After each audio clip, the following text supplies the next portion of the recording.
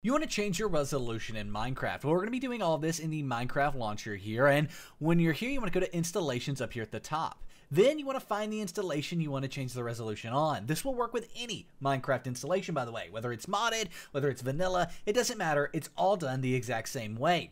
Go ahead and click on the release you want to change your resolution on. And when you click on it, down here at the bottom, you see resolution. Now, kind of a pro tip if you click on this monitor here it will give you a bunch of preset ones. For example we have 1440p here we have 1080p we have i don't know what this one would be 900p i guess. Generally from what i've seen you want to stay with these two unless you want to make minecraft a really small or weird resolution for a reason for example, if you were wanting to record shorts in Minecraft, as you can see here, I have a shorts playlist. Say you're doing YouTube videos, TikToks, things like that. You can actually set your resolution to 1080 by 1920. This will open up Minecraft in a very weird resolution, but when it's open, it will be in a 9 by 16 resolution, allowing you to easily record TikToks and things like that without having to do weird zooming kind of a pro tip there if you're looking to do that. But yeah, that's how you can change the resolution. Just change it right here in the Minecraft launcher. As far as making Minecraft full screen, well, that's done in game, and I will show you that really fast. And while Minecraft is opening, how about a message from our company, Simple Game Hosting? Go to the first link in the description down below, the breakdown.xyz SGH,